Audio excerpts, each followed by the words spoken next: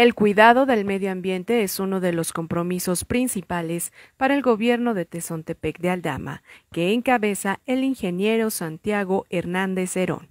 Es por ello que a través de la Dirección de Ecología se siguen llevando a cabo jornadas de reforestación en este municipio.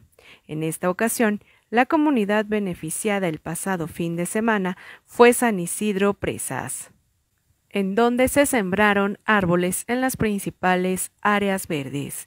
Es por ello que el gobierno municipal hace un llamado a la población en general a cuidar de los espacios verdes y colaborar en el rescate del medio ambiente, ya que aún estamos a tiempo de rescatar el lugar que habitamos.